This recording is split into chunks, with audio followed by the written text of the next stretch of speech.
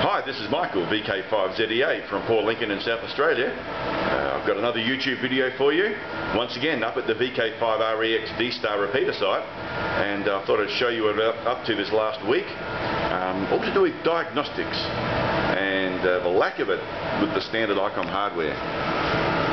Okay, well this is the D-Star repeater with the top off, and uh, one of the things that people have often complained about is it's, it's a very bland thing. There's no diagnostics, there's no service sort of indications, there's no transmit or receive or anything on these repeaters. You don't know what's going on on the inside. Um, and back in October 2008, I came across a website describing and selling a board which replaces the I.O. board, the little board in the back that distributes power and uh, it's got the RJ45 connector on it.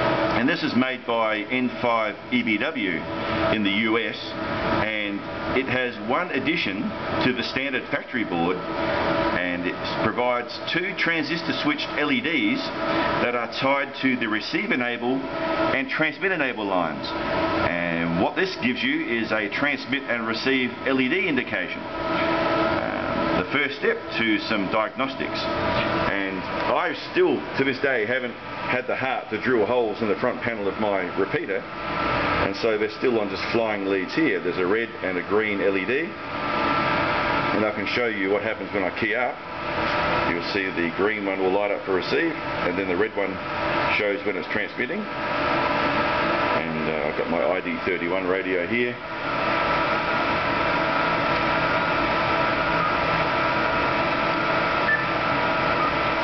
works really good. Now almost immediately after installing this board and having these diagnostic LEDs I noticed a strange thing. I would come up here and the green LED would be flickering or sometimes it would be locked on even when there's not receiving a D-Star signal, even when I know there was no one transmitting or no one in the area using it, it would lock on or flash. I didn't think anything of it. I keyed up the repeater and confirmed, oh yes, it still works, it still receives, and still transmits. It's doing what it's supposed to do. And I didn't think much of it. And uh, one way to, what the, the way I found to cure it was to actually turn the repeater off and on again, and that would then fix it. The green LED would be off and it would only light up when it's receiving, as is the case now. And I thought nothing more of this at all. I thought oh, that was just one of these strange things that ICOM does. Now, it wasn't until late last year, late 2011, that I seemed to notice that the repeater was doing some strange things. There were places that I knew I was in a good RF location and the repeater would ignore me. Would, I would key up and nothing would happen. And this quite often would be after a period of inactivity, like overnight. Like the first thing in the morning, I would go to work, I'd hook up my radio to the Yagi antenna at work, aiming at this hill, I'd key up and nothing would happen. I'd key up again and it'd work and it'd be fine, but it, it, I knew something wasn't right. And every now and then I, I would be checking into a net and I'd check in once and then I would be called into the net and I'd key up and I'd have an over and when I finished, somebody else was talking. And, was, and I checked the log files and I checked the dashboard page, and it would appear that the repeater just didn't hear me. And I thought, this is strange. I know I'm in a good location. What's going on? And it wasn't until a visit maybe two months ago that I came up here and I saw the green LED was flashing. And I thought, well, maybe there's some correlation between the receive enable line which is of course is a logic level going from the receiver to the D-Star controller to indicate there's a valid signal. And I thought maybe, just maybe, that's confusing the controller into thinking there's noise or it's not a valid signal and it ignores me. And I would power off and power on and then the repeater would work fine. I would have none of these strange little situations where it wouldn't hear me. I thought, well, I studied the service manual and I really couldn't find anything more about the receive enable line. Not knowing how the firmware works inside the receiver, it's really hard to follow. Um, the receive enable line just comes from a pin on one of the CPUs. It just it, there's no indication of, of what actually makes it, what conditions need to be to make it work. Um, so I thought I need some further diagnostics. And I remember when I was playing around with the service software in the reserve mode that um, you would get extra information especially when the setting software is plugged into the receive side. So this video, long story short, is about what I did, what I have done to allow me to remotely monitor the receiver a little bit better because I just don't want to sit up here and watch these LEDs 24-7 and find out and, and wait for this situation to happen.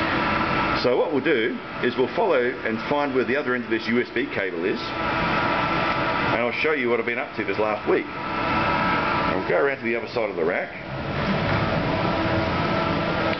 and just sitting here not installed properly at all is a WinStar USB server. And what this device does is allows a USB device, in this case the ICOM receive radio USB, uh, which is, is a serial over USB adapter basically, and it allows it to be connected to via a Ethernet cable. You'll see this has got a uh, an Ethernet cable on this side and a USB connector there.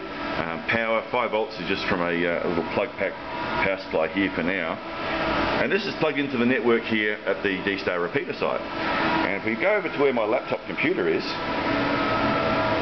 you can see that um, this is the uh, like the server software, that the client software runs on the computer. And it sees the networking server and the device that's plugged into it. And then you can connect to that device and it becomes it's like as if you've plugged that device directly into this computer even though it's over a network. And once that's been done then you can use the setting software and directly connect to the repeater and I'm sorry that this is a little bit blurry. This camera doesn't have autofocus. So um, I'll try and describe what's going on. At the bottom, when it's in the reserve mode, there is a bar graph that appears on the bottom for signal strength. And indeed, if I key up my radio, you'll see the bar graph goes up to indicate that it is receiving. Now that's, this is a proper received signal. It's nothing to do with D-Star. I can go to FM mode on my radio it still keep, you can still see an indication even when I'm transmitting an FM. So it's actually a proper received signal from the receiver. It's not uh, anything to do with the D-Star signal to noise or anything like that. It's, it's a signal strength from the receiver. Now one thing that this reserve mode enables is the adjustment menu which um, allows you to change and modify a lot of the parameters inside the repeater. Now this can be very dangerous. A lot of these uh, well they're all there's no there's no um, back button there's no going back if you change a value and you don't know what it was it's gone it's lost you can't get it back um, so the idea is, is to do a screen capture of this or write it down or something before you start playing. But even then, without the, the adjustment procedure, I really don't recommend anyone play with this stuff. Um, you can really mess up your repeater. And indeed, especially on the receive side, um, there are some values which are set after you input a certain signal level. Um, uh, especially the, well what I've done here is I've, I've, I've, expanded the range on the bar graph. Normally there's a S meter adjustment minimum and S meter adjustment full and what you normally do is input a set level for a minimum signal and it will then read that and set the value and then a full and read that and set the value. What I've done is I've actually set the minimum to be with no signal. So what we have here is just random noise I suppose the receiver is, is triggering the bar graph. I wanted to expand the range so I could see the see any sort of random noise that was getting into the receiver. Um, this is in, in, contrary to how the adjustment procedure is, is states but I just wanted to do this because I wanted to expand the, the range of this uh, bar graph. Um, and then that's about it. I mean, there is uh, other interesting things in here as well. You can see um, the voltage is saying 13.66 volts, and the temperature inside the uh, the receive radio is 28.03 degrees um, Celsius.